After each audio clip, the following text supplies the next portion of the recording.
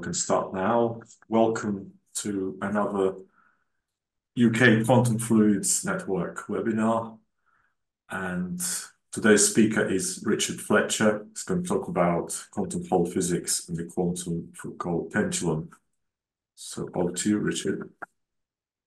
Okay, great. Thanks. Let me go to, if I play the presentation, that should should all work. I think we checked this was okay. Okay, great. Yeah, thank you very much um, for the invitation. I understand that this is moved by 24 hours relative to the usual time to fit around my teaching, so I appreciate the flexibility. Um, so great, yes. So my name is um, Rich Fletcher, um, and I'm speaking from, well, across the Atlantic, I guess, um, over at MIT. And so it's a nice opportunity today to tell you something about some of the work which um, has been going on over the last few years regarding essentially trying to learn something about the physics of charged particles in a magnetic field, but by using a system of neutral massive atoms in a rapidly rotating frames of reference. Okay, and, and so um, yeah, I crammed the word quantum into the title as many times as possible. Um, and um, essentially, what sets this experiment apart from some of the other rotating gas experiments that have been done in the past is the use of high resolution optical microscopy, which lets you take images such as those shown on the title slide. And so at the moment, these are just some pretty pictures um, from our experiment of um, a quantum fluid, in this case, a Bose-Einstein condensate of sodium atoms in a rapidly rotating frame and doing various weird and wonderful things, which I'll tell you about over the next um, 45 minutes or so. Okay, and so maybe just by way of some broad introduction, um, what we're sort of typically interested in understanding in our line of research is the behavior of what you might call strongly correlated quantum materials. Since these are quantum many-body systems, where correlations between particles give rise to interesting physics. And so in nature, this typically occurs through two different routes.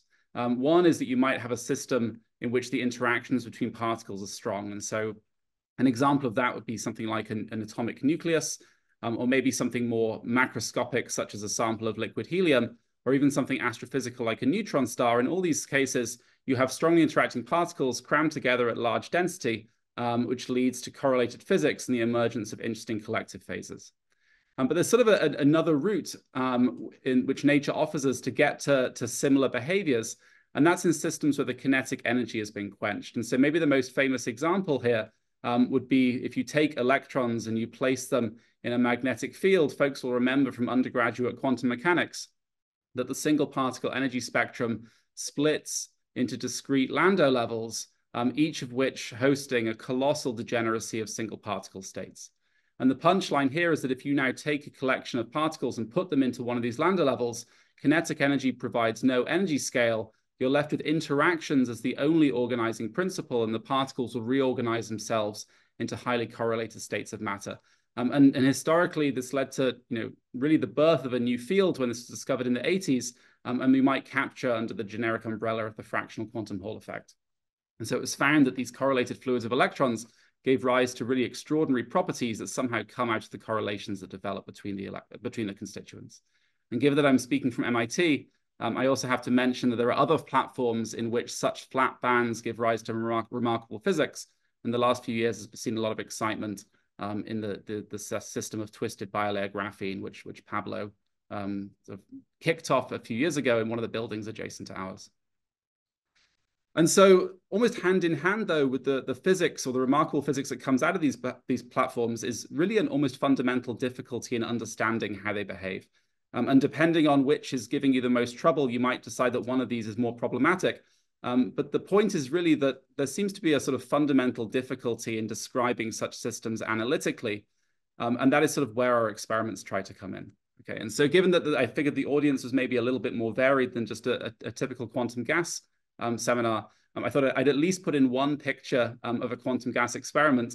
Um, and so here it is. There's a, a, tremendous number of optics and lasers. Buried at the center of everything um, is a vacuum chamber in which we trap a sample of atoms and cool it down to nanokelvin temperatures. And so buried in here somewhere, you can take my word for it, there is a little glass cell um, above and below which we have a high resolution um, microscope objective and we can really use this for two different things. We can either project very intricately sculpted patterns of laser light onto the atoms, or we can use our objective to take high resolution images themselves. And so here is a um, sort of image from the side, maybe a typical quantum gas image um, of a, about a million sodium atoms um, in a condensed state. It doesn't really look particularly interesting, um, there's a little blob of atoms at the center. But if we now image this thing um, using our high resolution objective, then you see something like this. And so here's an in situ image um, of a Bose-Einstein condensate under rotation. Um, it becomes filled with um, vortices. These are little units of quantized circulation with a density depletion at the center, completely analogous to a rotating sample of liquid helium. Um, and maybe just to, to point out um, one advantage which we have in a quantum gas platform um, is that we can actually resolve the core structure itself of the vortex. And so if you zoom in on one of these things, the blue points here indicate the, the density structure of a vortex core, where um, the dashed line shows um, what you would expect. That's just that's just produced by by numerically solving the Gross-Pitaevskii equation in the case of a single vortex, and the solid line is the theoretical profile, but convolved with the the resolution of our imaging system. Okay, and you can also have some fun with projecting potentials. Um, so here what we're doing is cutting letters um, into a, a Bose-Einstein condensate with an optical resolution of, of much better than a micron. Okay. And so really what you then decide to do with these platforms is up to you. And the point is that you just have an absolutely tremendous level of control over almost every aspect of the gas's behavior. You can play around with the geometry or the dimensionality that the atoms live in. Of course, temperature and density are accessible. Um, the, the strength of interactions are also tunable, and increasingly we have the ability to vary the range of interactions one can work with um, atoms interacting via contact potentials, um, also various forms of long-range interaction. And maybe for the, the most salient for the topic of today's talk is our ability to introduce artificial gauge fields, so to persuade these neutral atoms as though they were charged particles um, moving in um, electric and magnetic fields. And so really what one then uses these platforms for is up to your own personal taste. You might use them um, to test existing theory and to provide measurements that theorists can pit their predictions against. Maybe you try to realize some of the paradigmatic phases of condensed matter, but then probe them using complementary tools. Or maybe you even try to engineer new states of matter that have perhaps never existed in nature before. Okay. Um, and so the topic of today's talk um, will be a, a, a, sequence of experiments which have happened over the last few years which concern the use of rapidly rotating neutral quantum gases to learn something about the physics of charged particles such as electrons in a magnetic field. And so I'll touch on three different experiments. Um, the first concerns what we term geometric squeezing. Um, this is quantum mechanical squeezing, so it's a redistribution of Heisenberg uncertainty between non-commuting observables. Um, but rather than being position and momentum or different spin components of a spinful system, it's instead the x and the y coordinates of particles in a rotating frame. So it's really squeezing um, of a spatial distribution. Um, I'll then move on to, to the second topic, which is, is always a pleasure to talk about because it was an example of the experiment teaching us um, of seeing something that we absolutely didn't understand happening um, in our vacuum chamber um, and then really having a, a, terrific fun over a year or two to understand what was going on. Um, and essentially one can boil this down to a punchline, which is that um, a condensate occupying a single Landau gauge wave function. So this is a condensate in which all atoms occupy a single eigenstate within the Landau gauge. It turns out this is unstable against any non-zero interaction strength. It'll exhibit a spontaneous crystallization, um, which is what's being shown in the image at the center. And then the third experiment I'll touch on is by far the most recent. There's a paper on the arXiv um, sort of late in 2023, which concerns the realization of so-called chiral edge modes. This is the dissipationless propagation um, of atoms along the boundary of a system when subjected to a strong synthetic magnetic field. Okay, and so the history of, of trying to synthesize artificial magnetic fields in cold atoms is really a long one. Um, and, and people have cooked up all kinds of different recipes for doing this. But really, whichever your favorite approach is, what you're trying to do is to construct some analog of the Aharonov-Bohm phase. And so at a, at a, for a quantum particle, the, the signature that you are living in a magnetic field is that if you perform a closed loop in space, you pick up a phase proportional to the area of that loop. And the approach that we use to do this is sort of the oldest and maybe conceptually the simplest, and it's to work in a rotating frame of reference. And you can see at various levels this will do the trick. Um, you know, maybe necessary but not sufficient. Both of these processes break time reversal symmetry. Okay, thinking more classically, you may realize that the Coriolis force and the Lorentz force both look like velocity crossed with something, where in one case you have charge and magnetic field, and in the other case you have mass and the rotation angular frequency of the frame. Um, and more quantum mechanically, as we'll see in a moment, the analog of the Aharonov-Bohm phase in the case of a rotating frame of reference is provided by the Sagnac phase, which is a geometric phase picked up by a massive particle when it performs a closed loop inside a rotating frame of reference. Okay, and so I would point out that people have been spinning quantum gases um, for really quite a number of years, but maybe what sets this work apart is that with the use of this high resolution microscopy, we can now peer directly in situ um, and watch the dynamics of the system without any recourse um, to some kind of assumption in how it would evolve during time of flight imaging, which is how images such as those shown on the slide were typically taken. And it left a lot of the dynamics that were happening actually in situ um, obscure. Okay. Okay, so the title promised um, a Foucault pendulum, um, and here it is. Um, so here is a, a, print of Foucault's famous public demonstration. So he hung a great big pendulum from the ceiling of the Pantheon in Paris about 170 years ago. And if you were patient enough to stand there and watch, you would notice that the axis along which the pendulum precess, um, uh, swings would appear to precess throughout the day, revealing the rotation um, of the frame in which you're viewing the motion. And so at, at, its heart, a Foucault pendulum is really nothing more than a, a 2D harmonic oscillator um, viewed inside a rotating frame of reference. We know that rotation couples to angular momentum, and that means that the normal modes of our pendulum are simply a, a circular motion where the pendulum swings co-rotating with the rotation of the frame, and a circular motion where the pendulum swings counter-rotating with the rotation of the frame. And so in an, an inertial frame, the frequencies of these two modes would be degenerate. They would just be given by omega, um, the natural frequency of the pendulum. But in a rotating frame, their frequencies are split by the rotation rate of the reference frame. Um, and so if you want to figure out the motion of your pendulum, you simply have to add together this slightly faster counter-rotating circular motion and the slightly slower co-rotating circular motion. And if you do that for a relatively slow rotation of your reference frame, the blue shows the slow co-rotating orbits and the red shows the faster counter-rotating orbits, you indeed find that the pendulum swings back and forth along an axis which precesses. And if you're Foucault watching this, um, you feel pretty happy. This is a good moment to introduce some coordinates. Um, so we'll term these fast counter-rotating orbits cyclotron orbits with coordinates psi and eta. And these orbits will occur around a point known as the guiding center, and with coordinates capital X and capital Y. Okay. But let's imagine for a moment that you had some magical handle where you could crank up the rotation rate um, of the Earth. So now that it's spinning at a much more respectable 0.8 times the natural frequency of the pendulum, you can do the same epicycle construction. But now what you find is a much stranger motion of the pendulum. This would be a lot less intuitive to watch swinging in the Pantheon. Okay, and we can go even further still so the Earth is now rotating at the pendulum's natural frequency. The Bob still has no problem performing these fast counter-rotating cyclotron orbits, but now the centrifugal force on the Bob perfectly balances the gravitational restoring force, and so where you place this cyclotron orbit within 2D space is degenerate. And so without doing any calculations, you realize that once you quantize this system, the energy level must split into discrete Landau levels with each level corresponding to a state of the cyclotron harmonic oscillator and each level hosting a gigantic degeneracy corresponding to where you choose to place the guiding center.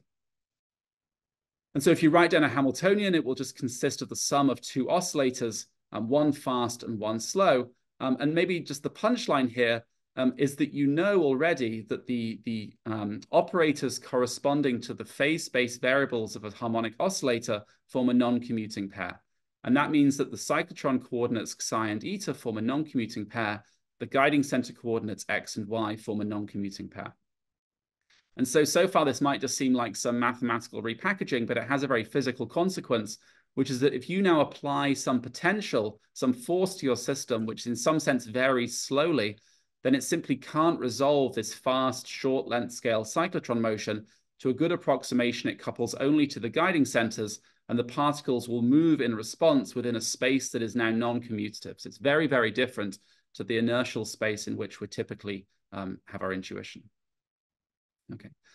And um, we can see already that various very nice properties um, pop out at this level. Okay, and the first I'll highlight is the emergence of the geometric phase that we were after. And so if we think first about an inertial frame, we know that the, relevant um, conjugate pairs are x and px and y and py. And that means that the generator of x translations is px and the generator of y translations is py. And so if you take a particle and you ask it to perform a closed loop and ask how its state evolves, you have to stack together four different translation operators. They all commute with each other, and so the particle comes back unchanged. On the other hand, in a rotating frame, the relevant non-commuting pair is now x and y, the guiding center coordinates, which means the generator of x translations is y and the generator of y translations is x. And so now if you again take your particle and move it in a closed loop and ask how its state evolves, you now have to stack together four translation operators which don't commute with each other. And a couple of lines of operator algebra shows you that the particle comes back having picked up a phase proportional to the area of the loop. And this is the phase we're after. Um, in the case of a charged particle in a B field, it would be the Aharonov-Bohm phase. In the case of a massive particle in a rotating frame, it is the Sagnac phase. In both cases, it arises because your particle now lives in a space which is non-commutative. We also see our old friend, the Hall response. If we apply a force in the x direction, that's just a potential varying linearly with x. And the time evolution operator corresponding to that potential is simply a y translator. So force along x translates along y. Um, we can generalize this to the case of a generic potential v because we realize that particles will always locally flow orthogonal to the applied force at a rate proportional to that force. This is just the E cross B drift familiar from electromagnetism. You can also note, it's kind of a, a, a nice aside, that this flow is generically incompressible and this is sort of a statement of Liouville's theorem, because now your real space distribution of atoms is actually a phase space distribution within X and Y. Okay, and so it will always move under Hamiltonian evolution as an incompressible fluid. Okay, and maybe the punchline of all of this is that when you apply a completely generic spatial potential to your system, you can always understand the time evolution as a geometric transformation. It's some kind of stretching or um, compression of the space on which the particles are distributed. Okay. So one more um, slide of background before I dive into some experiments and show some, some pictures of real atoms. Um, I will just highlight um, and remind people of the importance of choosing a gauge. Okay, and as a reminder, this occurs because what shows up in the Hamiltonian is not the magnetic field, but what shows up is instead the vector potential. And this necessarily has a lower symmetry than the physical B field itself, which immediately tells you there must be some freedom in how you choose it. Um, and depending on the gauge that you choose, the eigenstates of this Hamiltonian you cook up will reflect its symmetry. And so if, for example, you choose the symmetric gauge where the vector potential flows in circles, the eigenstates that you cook up will reflect that symmetry and be circularly symmetric. If instead you choose the Landau gauge, where the vector potential flows up along one half of your system and down along the other half, your eigenstates you cook up will again reflect that symmetry, be translationally invariant along y, and have an x position locked to their y momentum. Okay, this should be just a refresher from undergraduate. And I'll just show a couple of images here.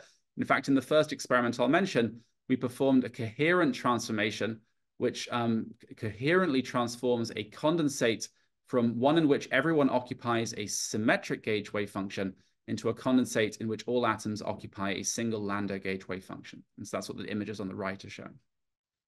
And the way that we achieve that is actually quite simple. Um, in the rotating frame, we simply apply, apply a saddle potential. Okay. And at least at the very beginning, we had a very naive image picture of this. We thought, hey, if you apply a saddle, I know what happens in saddles. You should try and roll downhill. Okay, you think the particles should escape along the um, anti-trap direction. And that is completely wrong um, because you're forgetting about the presence of a magnetic field. And the magnetic field causes the particles to do two things. First, they perform cyclotron orbits, and those cyclotron orbits will drift along isopotentials.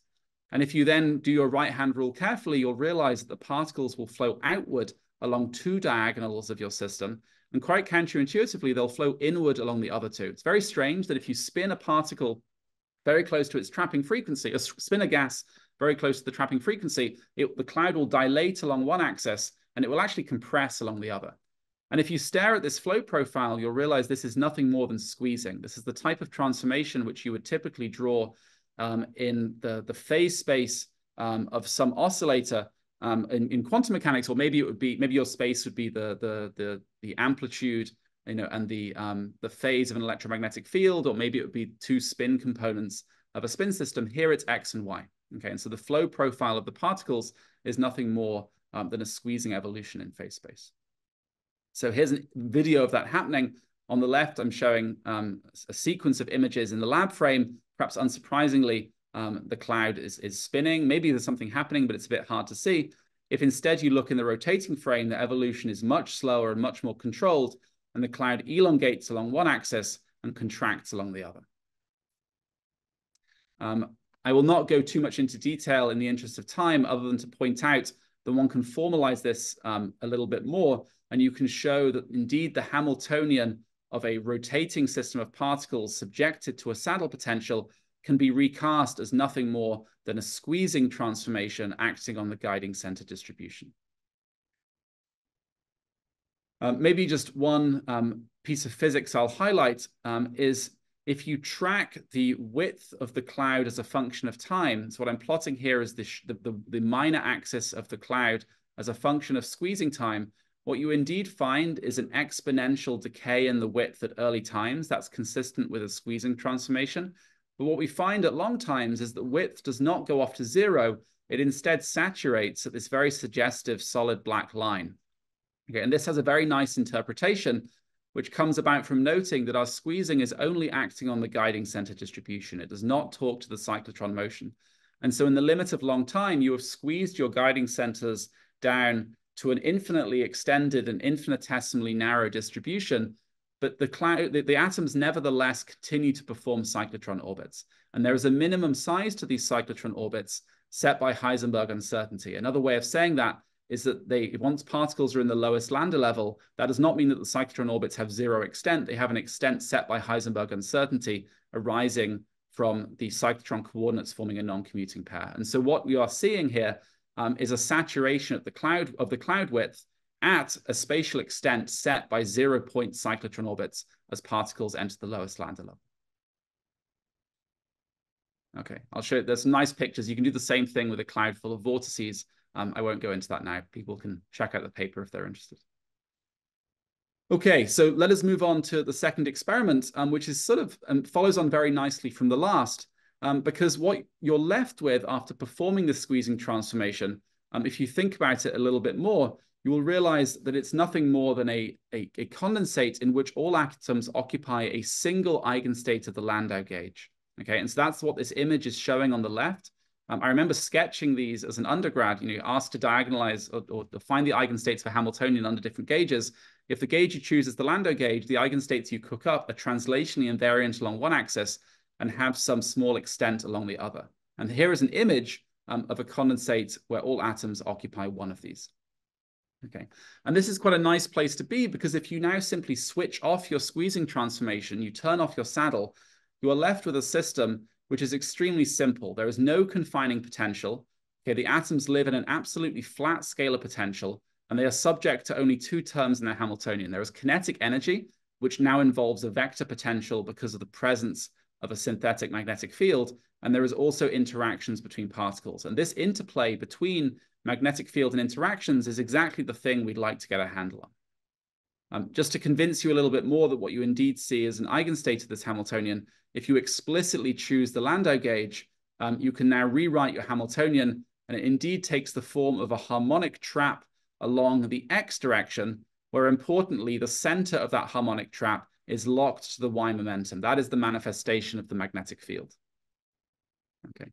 And so eigens, various you know, eigenstates of this Hamiltonian are shown on the bottom for different choices of momentum along the y direction, meaning the trap takes a different position along x. And we have realized a situation where all atoms occupy one of these states.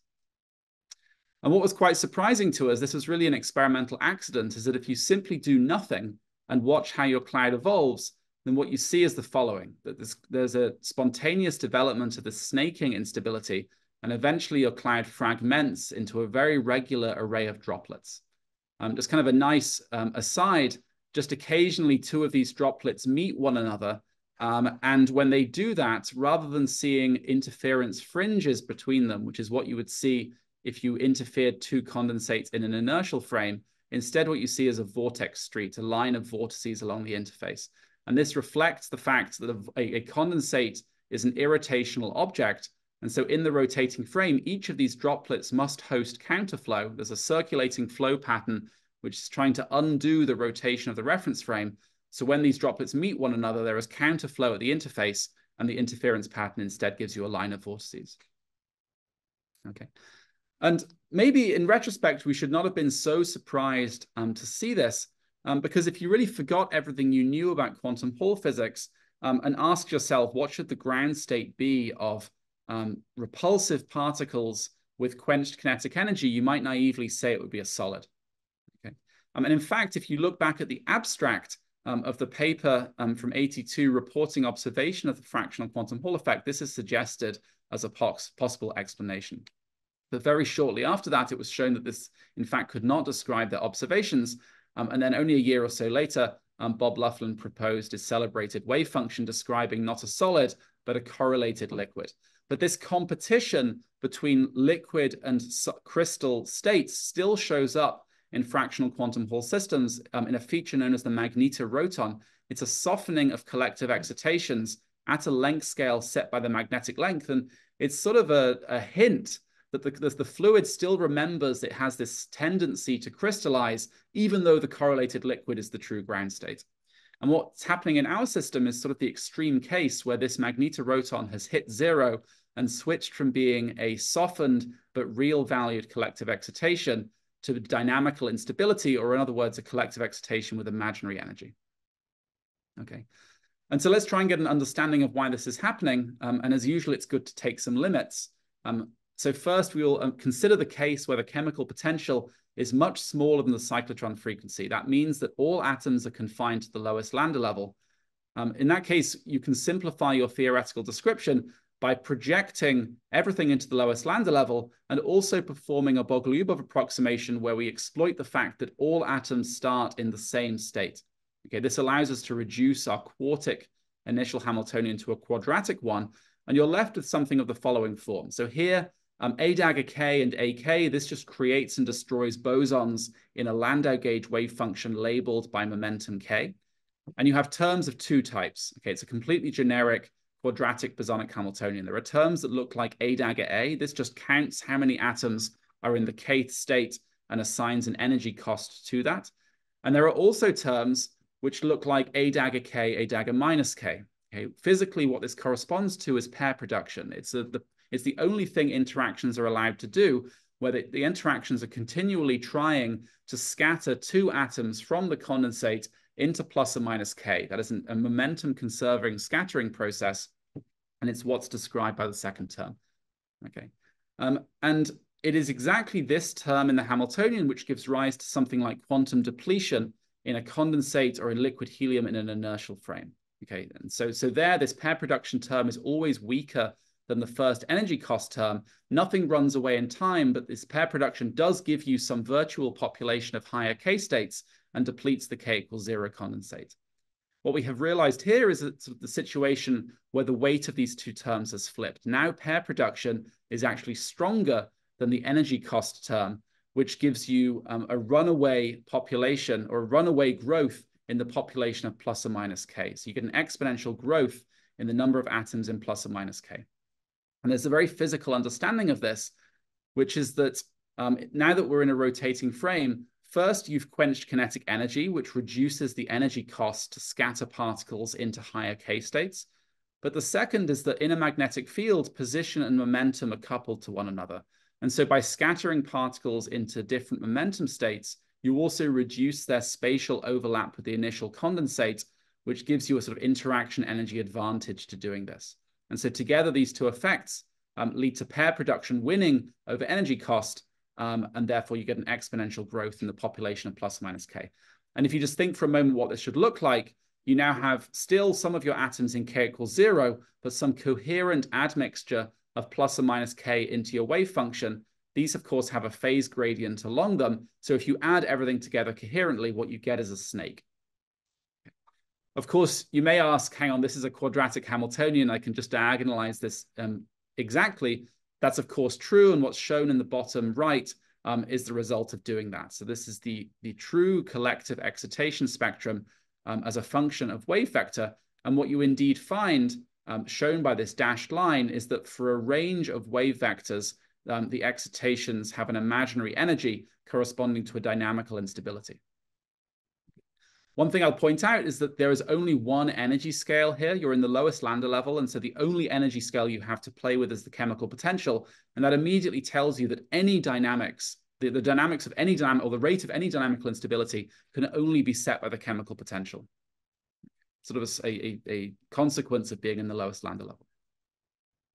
Now, if we consider the opposite limit, where now the chemical potential is much larger than the cyclotron frequency, um, so now many, many Landau levels are occupied, okay? Um, and so one should expect to recover classical superfluid hydrodynamics. Okay, another way of saying that is that you should be able to neglect quantum pressure and recover classical hydrodynamics, um, but for a superfluid. Okay. Um, and so, um, you know, what is the what does that look like? So we know that the the velocity or the, the flow profile of a superfluid, typically one associates that with the gradient of the phase of the superfluid wave function. That's sort of an inertial frame result. In the case of a vector potential, there's an extra piece. Okay, and so the flow profile, in fact, looks like the gradient of the phase, but then in addition, you have a contribution from the vector potential.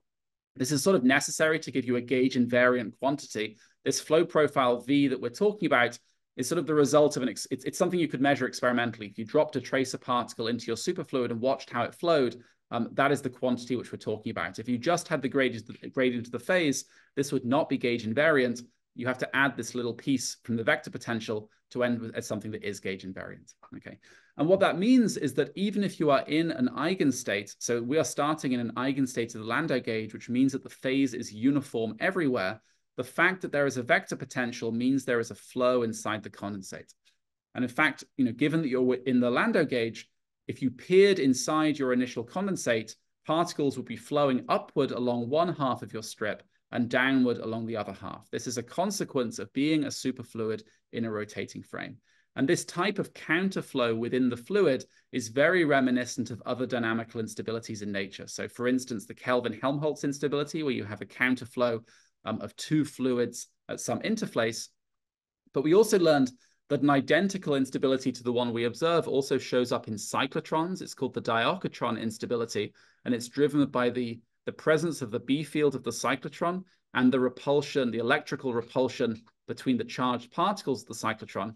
Um, and so a sequence of, of images of some simulation of this instability is shown in the center. It's absolutely identical um, to our experiment. And in fact, when talking to some of our maths colleagues um, at MIT, it was also pointed out the same instability shows up in the oceans. So if you have what's called a line plume, which is some kind of, imagine like a strip of um, volcanoes on an ocean floor emitting some kind of buoyant fluid, as that strip of fluid rises up through the ocean, the rotation of the Earth drives it to, to fragment into distinct droplets of swirling fluid. And so it's quite nice that so this exactly this instability shows up across about nine orders of magnitude in length scale. In our experiment, though, we can take it all the way to the lowest Landau level. Okay, maybe okay. There's almost certainly too much maths on this slide. Um, the point is just that in the limit of chemical potential being much larger than the cyclotron frequency, um, what that means is that you can neglect the quantum pressure. It turns out if you do this, that you can always recast your hydrodynamic equations such that the only time scale is provided by the cyclotron frequency and the only length scale is provided by some combination of chemical potential, mass, and cyclotron frequency. And so maybe now just to offer um, a couple of um, predictions from what we've just discussed. Um, the main one I'll highlight is that we expect in the lowest Landau level, the only rate can come about. The only, the only energy scale is chemical potential, and therefore the only rate we have is chemical potential over h bar. And so we expect that this crystallization should take place at a rate set by mu. On the other hand, in the limit of high density, h bar can't show up because now we have classical hydrodynamics. And so now the only rate we have to play with is the cyclotron frequency itself. The, the rate should be independent of the interaction strength in the condensate. So now let's actually do some experiments. Um, so the first thing which we can do is pull out the length scale of this emergent crystal. I will not dwell on this other than to point out that we understand this very well. We can track how the length scale of the crystal evolves with um, what's essentially the ratio of the chemical potential to the cyclotron frequency. So as we vary the number of Landau levels admixed into the superfluid wave function, um, we understand well how the length scale of the, the, the dynamical instability varies. Um, the, the point I will touch on um, is the plot here shown on the right. So here we can we are directly extracting the evolution, so the, the, the temporal evolution of the structure factor, which allows us to pull out the rate at which this crystal develops. Okay, and so what's plotted on the right is the, the, the dynamical instability rate, capital gamma, plotted as a function of how many Landau levels are in your superfluid. It's the ratio of chemical potential to cyclotron frequency. And what we were very pleased to see is that as this number becomes large, you see the data approach the horizontal dashed line, which is the classical result, independent of mu. But as we start to get to a regime of chemical potential becoming of order one cyclotron frequency, you see a departure from this classical result and instead a crossover to a regime where the fragmentation rate is now proportional to mu, which is a smoking gun that you're entering the lowest Landau level. Okay. I'll skip this slide. Good. So the final experiment that I want to mention um, is um, the most recent one, um, and it's our efforts um, to realize chiral edge transport in the system. Um, and so what do I mean by that? let's give a, a, couple of slides of background. Um, let's think first classically. We know that if we have a magnetic field and we place electrons into it, these electrons perform cyclotron orbits. Okay, this is a piece of undergraduate electromagnetism.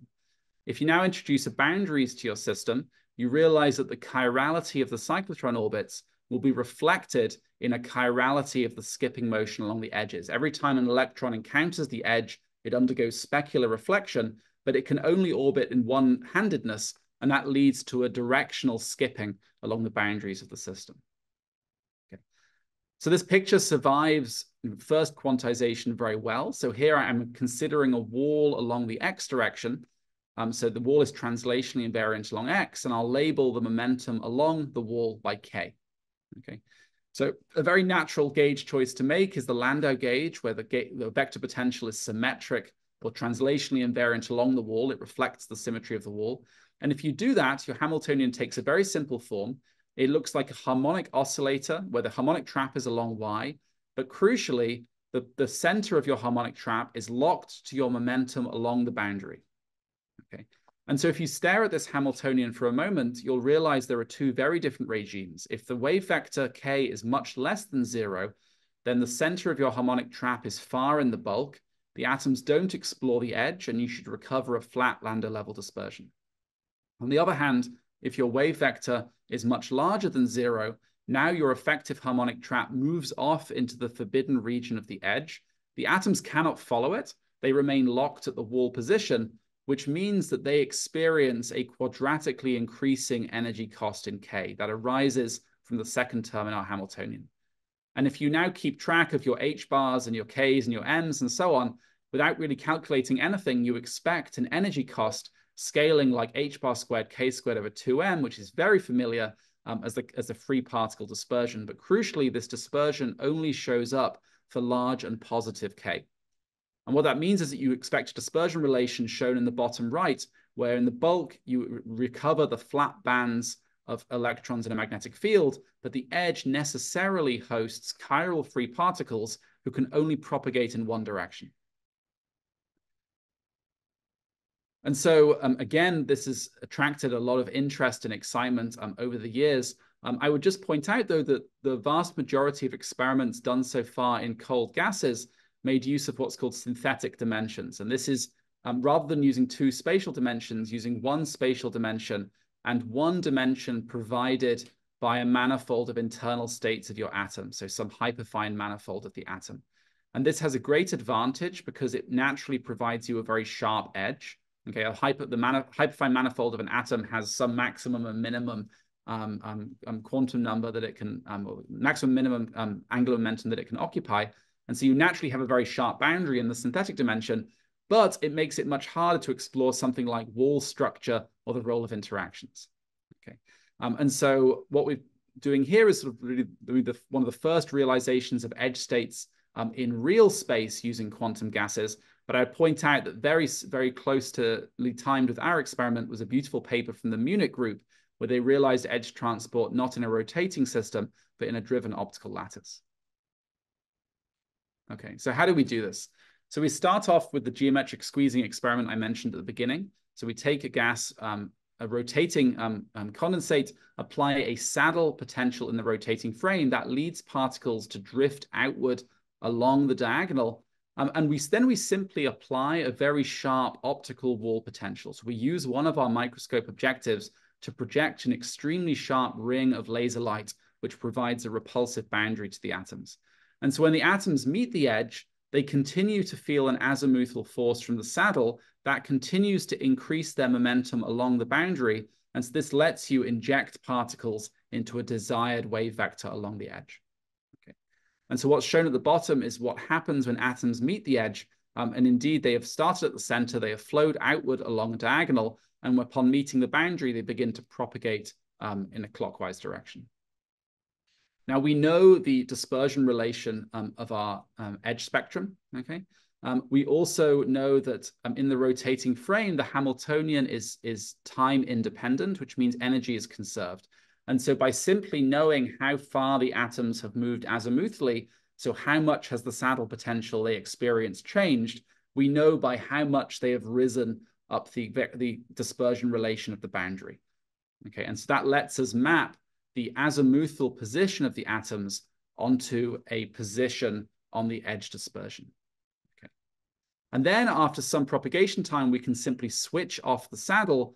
This freezes the evolution in their azimuthal momentum, and they will subsequently propagate at a fixed wave vector. And the first thing we did um, is just measure their speed. So what I'm showing um, in the bottom right is the propagation of these atoms after removing the saddle. And indeed, they continue to crawl around the boundary of our system. Okay, we can then extract the speed of the wavefront as a function of the injected wave vector, which allows us to make a plot of wavefront speed against edge mode wave vector. And we indeed recover the dispersion of a chiral, of a free particle except it's, it's now chiral. Okay, so it's a very sim in a way, a very simple result, but it was really amazing to us to see the free particle dispersion indeed show up at the boundary of our system with a synthetic B field. Okay, this really reminded us of, of, of, of this experiment. Okay, this is a called a wall of death. Um, and so here, this, this motorcyclist is, um, you know, zooming around the boundary um, of a circularly symmetric system. He does not decay into the center, um, and the reason that this it put us in mind of, of, of, this wall of death is that if you look at the energy of this edge state, it's actually remarkably high. So the highest energy that we can inject, um, it's about 50 um, cyclotron frequencies, which means that it, it's, it's really remarkably excited compared to the states that it came from in the bulk, yet energy conservation prevents it from decaying back to bulk states. Um, this edge mode is also very robust. So what I'm showing here is our first attempt to introduce disorder um, and so here we've projected, in addition to the optical wall, there is also, we use an optical tweezer to project um, a little repulsive spot of laser light.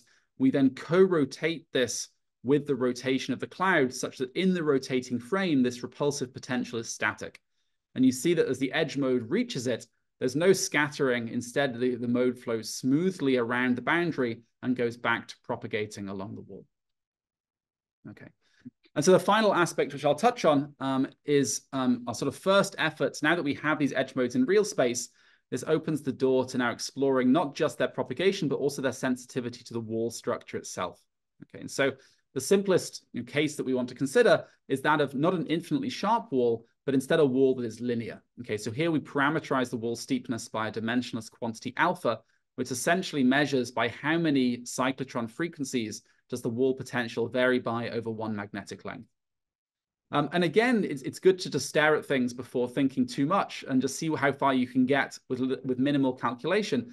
You again realize there are going to be two different regimes. If the wave vector of your edge mode is comparable to alpha, okay, and with some appropriate dimensional de-dimensionalization, you realize that a wave packet of typical extent set by the magnetic length will explore the discontinuity at the wall onset.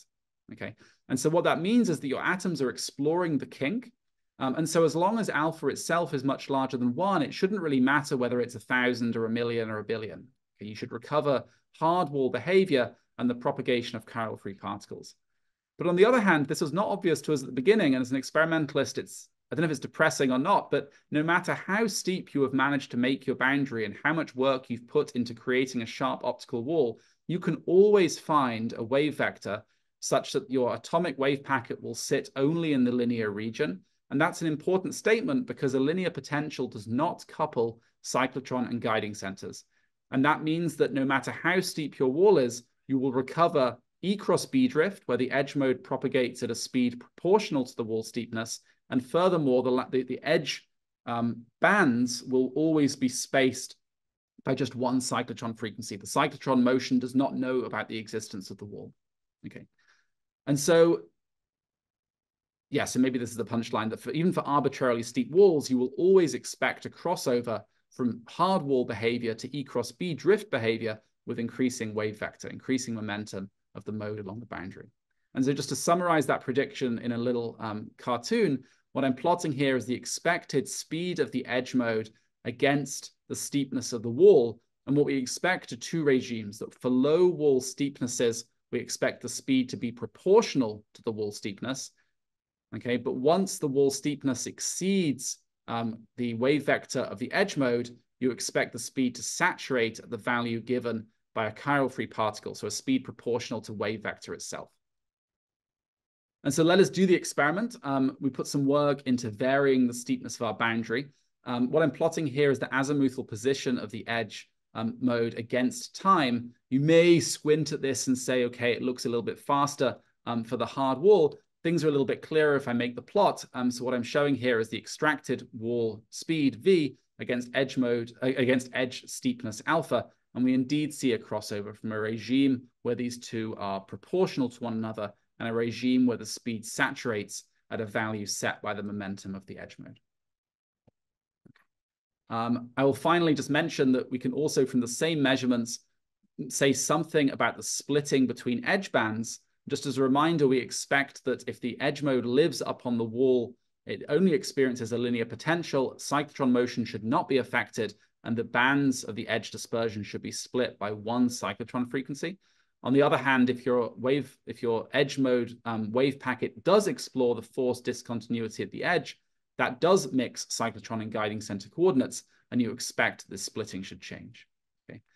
We can actually pull this out directly from our data. We can make use of the fact that as our, when our atoms encounter the boundary, they do not encounter it arbitrarily slowly. Okay, they it turns out that they they meet the wall, they see the wall from the perspective of a little atomic wave packet. It sees the edge potential switch on in a time which is a little fraction of a cyclotron period. And that means there's a small non-adiabaticity from the point of view of cyclotron motion. And so as the atoms encounter the edge, we do excite a small admixture of the first excited edge band.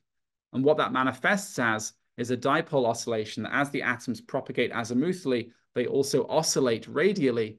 Um, we already know the speed of the edge mode. And so from the azimuthal period of these oscillations, we can pull out the temporal frequency, which is what's plotted in the bottom right. So here we're plotting the temporal frequency of these oscillations against wall steepness. We indeed recover one cyclotron frequency for shallow walls. And as the wall steepness increases, um, this, this coupling of guiding center and cyclotron motion is manifested as this quite substantial increase in the, in the, the frequency of oscillation with respect to the splitting of bands in the bulk of the system. Okay, so that is where I'll wrap things up. Um, um, I will point out the current state of this experiment. Actually, this slide is already outdated. So this image is showing um, a rotating condensate confined in a bucket potential. So now the density or the, the average density is uniform, but the condensate is riddled with vortices. Um, but actually, just in the last few weeks, we also now have single atom detection implemented on this experiment. So we have the ability to perform an experiment in the rotating frame pin all of the atoms in an optical lattice and then measure the location of every atom in the system. That's very, very advantageous for pushing these experiments down to lower atomic densities, because where we'd really like to get to is a regime where your atomic density is comparable to your flux density. That is the regime in which correlations should start to become important. Um, and it turns out that we'll need um, much better detection of these low densities to do that. And that's why we've implemented single particle detection. I wish I had a, a picture to show. Um, I'd also point out um, a new um, group that I'm currently building up at MIT, um, which is realizing a degenerate mixture of erbium and lithium atoms.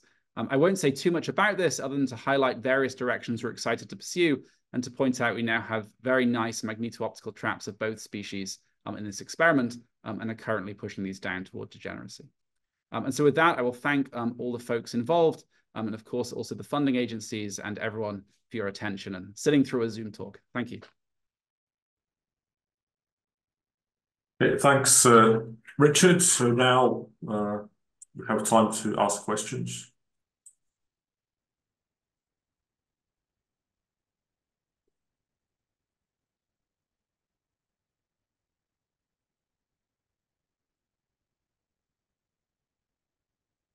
All right. Yep, sorry.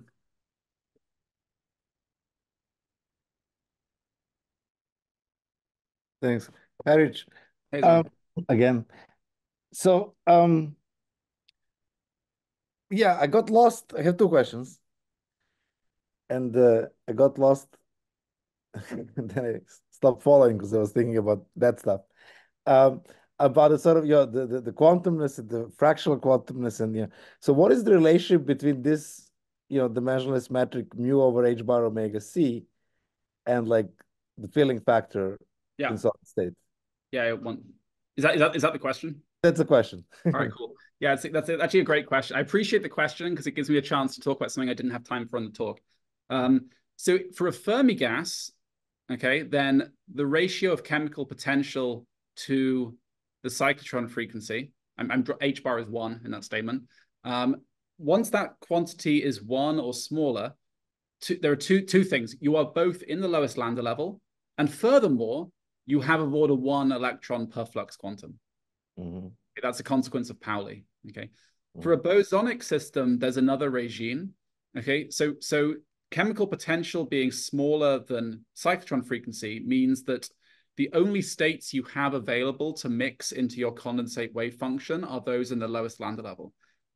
Mhm. Okay, so you will have you, you expect lowest Landau level physics. That absolutely is distinct to classical superfluid hydrodynamics when you have many Landau levels filled, but you can still have you know hundreds of bosons per Mhm. flux quantum. Yeah. Okay, and so in that sense, your system is still well described by a classical field. Okay, so you can still capture the physics very well via the GP equation. Another way of saying that is that the many body wave function is still essentially all atoms occupying a specific single particle wave function, which you would then associate with the superfluid wave function. Mhm. So that's the regime we're currently in. I'd say that we're the number there is lower than in many prior experiments. So in a lot of the early rotating gas experiments, there were like thousands of atoms per flux quantum. It's very comfortably classical. In our experiment, it's you know tens. It depends a bit on the h bar, how, on the two pi's where you count them, but it's you know tens to maybe a hundred. So it's maybe an order of magnitude or two better than before, but it's still everything I showed today could be modeled by the GP equation. And so hmm. to say again, that means that in all these cases, the many body wave function is macroscopic occupation of a specific single particle wave function. There's nothing correlated. Okay. So to get to correlated physics, which you would is sort of synonymous with fractional quantum Hall physics, you need your atomic density to be comparable to the flux density. You need of order one atom per flux quantum.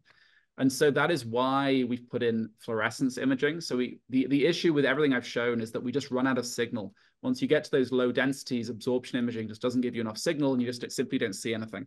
So what we can now do is do this, do these types of experiments, but then you switch on a lattice to pin everyone and then just measure where every atom is.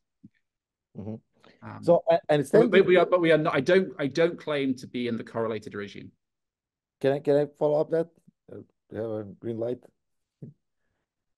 I'm, Uh, I'm yeah, absolutely. Yeah. So we don't have any So, so other I raised I hands. Yeah. understand these two statements separately.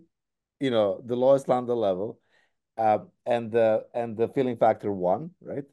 But I got bugged more mathematically. You know, the reason the point I started thinking about this, and this is like the first half of the talk, and then bugged since, yeah, is that you had this graph where you know the x-axis is mu over omega c, okay, right? And I was looking for a special number. I'm like, there's only one on that graph. You've already passed one. And I know that something happens that, but it's not the thing I'm looking for, right? So, so in words, you can say when the filling factor is one, and I understand it, but would like on that graph, still use mu over omega c, right? But introduce another dimensionless number and then say like when mu over omega c is less than one, you know, you know, you get this kind of mean field quantum. but when it's less than, and then I don't know what I was looking for, A over L, A over D, L, this is between particles, something. What is, what is, if I want to keep, you know, the language of one dimensional particle be mu over omega c, what Yeah. is the other dimensionless number that it has to, you know, drop below to be in the, in- Yeah, I don't. I, I don't know. If, I, I think that's then species, and even okay. So so maybe the normalize. Maybe you can at least get rid of the dependence on rotation rate, but it's at least species dependent because what you care about is the the dimensionless number would be num two D number density of atoms over two D number density of vortices. Yeah, I know that, yes. Okay, But- but- but but, the- but, but, but but the mapping from 2D number density of atoms onto mu also depends on you know what the what are the contact potential between the atoms. Yes, exactly. Yes, yes. So that's what I was looking. It's like, yo, scattering length over magnetic length or something. I don't know. I mean, is there some way to to put in the same graph, you know, you you because you could you could just reduce the scattering length, for example, instead of changing the density, right? And your Yes, mu yes. over omega would drop, you know? Yeah. Even though the density would not change. And Yeah, the density yeah. would not That change. that- yeah, that That's, would actually that's be, where I got lost. That's where that would got be that would be a cleaner. What you say would be a cleaner experiment, but there's no nice, as you know, there's no good Feshbach resonance. Well, two issues. There's no good Feshbach resonance for sodium, and furthermore, you're in a magnet. In this case, you're in a magnetic trap, which is chosen because it's so smooth. Um, but it precludes tuning interaction strength. So density is the only handle. So so one could plot the line you want. It would be very, it would probably be indistinguishable from the y-axis on the plot I showed, but it's which number it's sat at would be different for sodium or rubidium or lithium or whichever species you want to choose. But you see, do you see why I get lost? When I reduce A, mu by reducing A, I'm reducing mu over omega C without changing the density of vortices or the density of particles. So it's possible, so it's possible to reduce mu over omega C without getting closer Oh yes, fine, fine. to the correlation regime. That's as- fine. Yeah. That's fine. Yeah, yeah. Well, it's I don't, fine. I, don't- I don't think I, I don't think this boundary sits anywhere universal on the plot I showed. Yeah, but I, but in our experiment, we are far, far, far from that regime. Yeah, every, everything is classical field. It's not necessarily classical superfluid hydrodynamics, but it's even in the lowest Landau level, it's describable by a classical field once you add quantum pressure into your hydrodynamic description. Okay, so to keep this limited, I switch to my second question, which is the the, the the the the the skipping orbits, you know, the the the edge modes, right? Yeah. I, you know, since undergrad, I have a simple intuition, like, well, you hit the wall, you know, reflect elastically. You're still trying to be chiral in the same sense, right? Yeah, yeah. Um, that, that that's one thing, and then you know maybe Mm. end of undergrad, beginning of grad school, I understood also like you know how the how the band you know bends near the edge, and instead of thinking of it as a physical wall, which some kind of electromagnetism anyway, yeah, I started thinking it as like forbidden region and so forth. Okay, that's all good, but what has been bugging me throughout the eighty percent of the talk is is what you showed at the beginning, which is what happens with the Foucault's pendulum when you're rotating fast but not quite Yeah. at omega.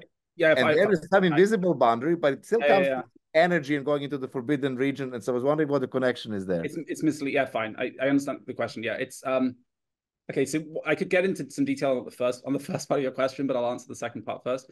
So so the, the okay, maybe I can go to it. The motion of the pendulum.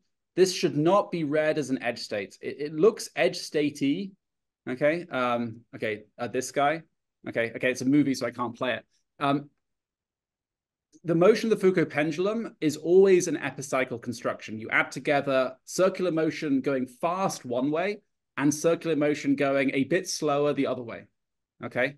But now it's like, think back to like classical, you know, how do you solve any classical system via its normal modes? You figure out what the normal modes are, and then you add them together in such a way that it's fixed by initial conditions. Okay. How much of each one do you add and, and what's their amplitude?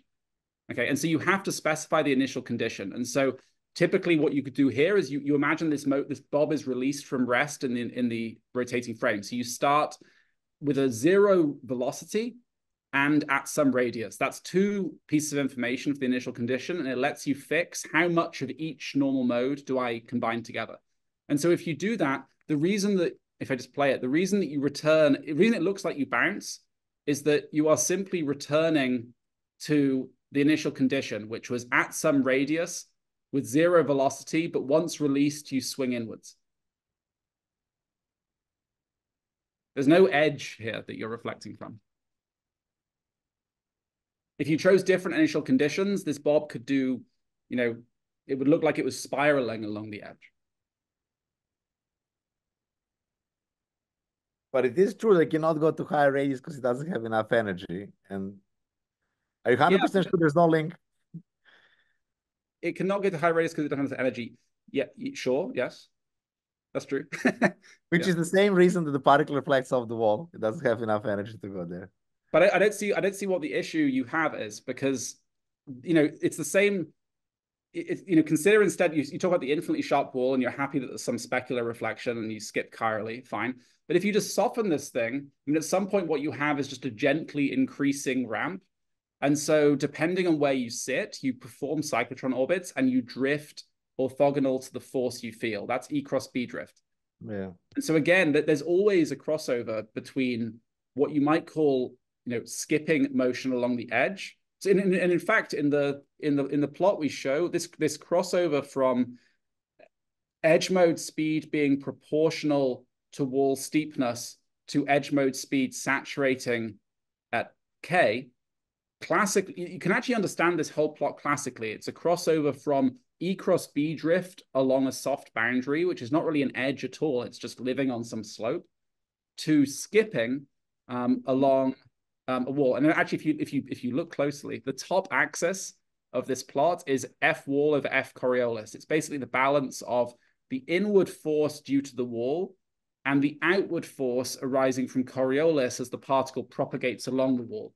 And so when, when the wall is much weaker than this Coriolis force, the particle can penetrate the soft boundary and what it sees is just a soft edge.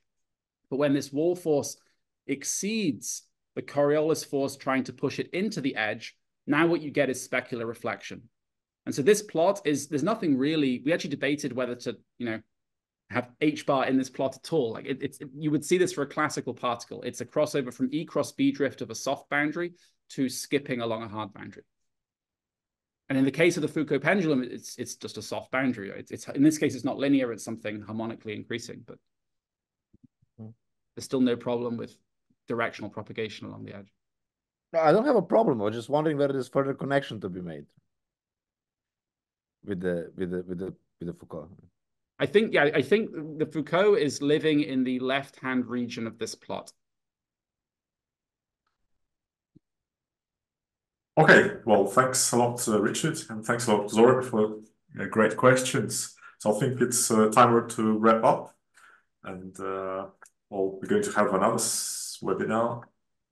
I don't remember when, a couple of weeks, I think.